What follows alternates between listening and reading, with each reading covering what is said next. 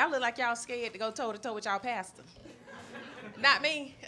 Not over my tithe and offering. Yeah, my, my pastor could catch a fade real quick. Not because why am I at a nine to five, day in, day out, working with people I didn't sign up to work with, to give you 10% of my money so I can see you preaching on Facebook Live in Tulum.